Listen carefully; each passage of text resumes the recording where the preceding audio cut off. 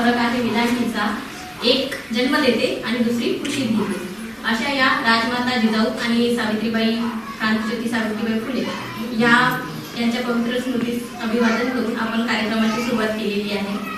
तर आता आपल्या अंगणवाडी सेविका ह्याही सगळ्या बालकांना घडवण्याचं काम करतात त्यांनी त्यांच्या मातेप्रमाणेच काम करतात आणि बाळाला घडवणारं सर्वात महत्वाचं काम म्हणजे मातेचं.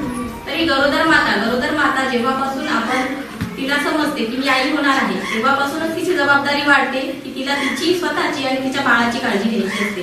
तर तेव्हापासून तिला कळतं की आपण करू. म्हणजे किशोरी असताना तिने तिची काळजी जर घेतलेली असेल तर येणारं बाळ हे सुदृढ आणि निरोगी जन्माला येतं. तर गरोदर माता असताना तिच्या प्रथम जबाबदारी आहे तिची स्वतःची तिच्या पतीची आणि तिच्या सासूची. तर गरोदर मातेचं आरोग्य चांगलं राहण्यासाठी तिने सतत आहार घेतला पाहिजे.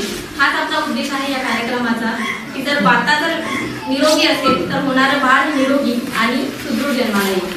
त्याच्यामुळे गरोदर मातेने तिच्या रोजच्या जेवणामध्ये सकस आहार हा तिने समावेश केलेला पाहिजे.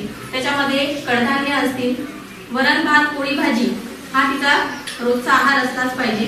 त्याच्यासोबत दही नंतर कडधान्य मोड आलेली कडधान्य नंतर फळे दूध या सर्व पदार्थांचा तिने आपल्या जेवणामध्ये समावेश केलेला